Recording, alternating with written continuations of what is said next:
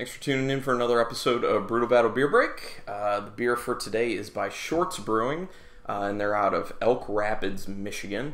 Uh, if you'll remember, I actually did another one of these a bunch of episodes back. Um, you can check for it.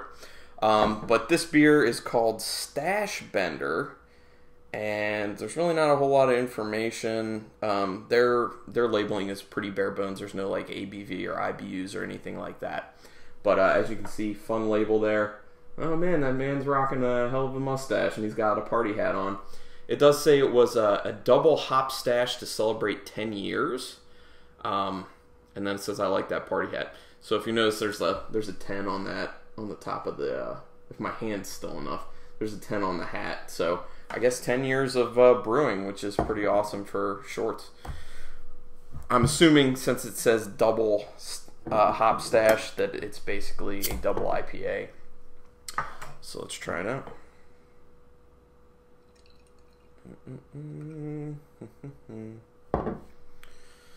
Um, definitely looks double IPA ish, very um, dark red, dark reddish, amberish coloration to it.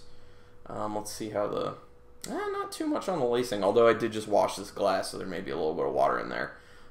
So, ooh, hmm. It's got a bit of a hay note to it. Earthy pininess definitely coming through. Smells pretty resiny, actually, the more I sniff on it. This is pretty cold, so, you know. It smells a little rye-ish as well. Mmm. It's got that kind of like spice that you get from from smelling rye. It smells pretty good. Tad bit of citrus in there with all those other notes. It smells nice. Okay. Mouthfeel is a little bit more than I was expecting it was going to be. It's a little more present on the tongue. I was expecting it to be kind of a little closer to uh, watery, not totally watery, but a little more watery than it than it currently is. It's got some real kind of sticky presence to it that you almost have to chew just a little bit. Hmm. Hmm. A lot of pininess, a lot of earthy notes, a little bit of like spice in there from hops. Tastes pretty good. It's a, it's a pretty serious beer.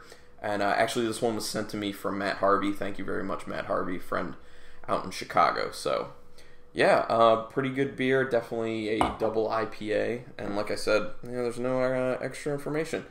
There also is no bottle dating.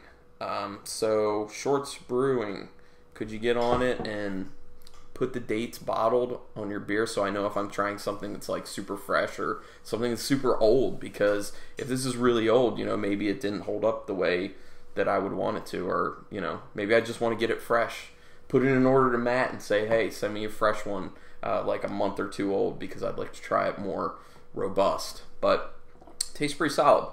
Um, if you like, you know, those very piney, spicy, earthy type uh, notes with your double IPAs. Mm-hmm. I'm gonna finish this sucker off. Everybody out there, go ahead and get a beer, man. And thanks for watching.